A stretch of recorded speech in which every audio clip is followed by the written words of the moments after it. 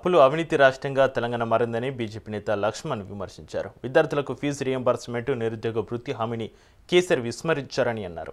రైతు రుణమాఫీ జరగలేదని రైతు బంధు పథకానికి ప్రభుత్వం తొమ్మిది వందల కోట్లు బకాయి పడిందన్నారు. కేంద్ర ప్రభుత్వం తెలంగాణకు రెండు లక్షల పదివేల ఇళ్ళకు డబ్బులిస్తే టీఆర్ఎస్ ప్రభుత్వం కనీసం ముప్పై వేల ఇళ్ళు కూడా కట్టలేదని లక్ష్మణ్ విమర్శించారు.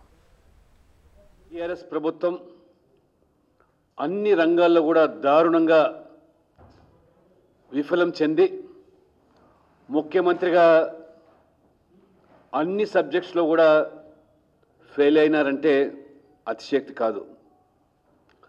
బంగారు తెలంగాణ అన్నారు. రెండోసారి గెలిపించారు.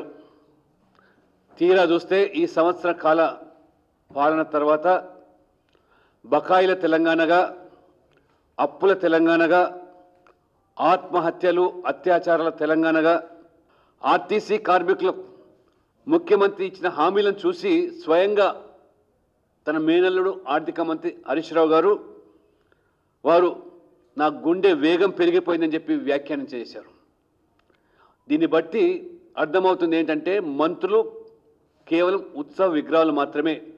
ఈ ఆరేళ్ళలో అక్రమార్జనతోని తెలంగాణను అప్పుల కుప్పగా మార్చేసి పైన పటారం లోన లొటారం వ్యవహారంగా మారుస్తున్నటువంటి ఈ యొక్క టిఆర్ఎస్ పాలన.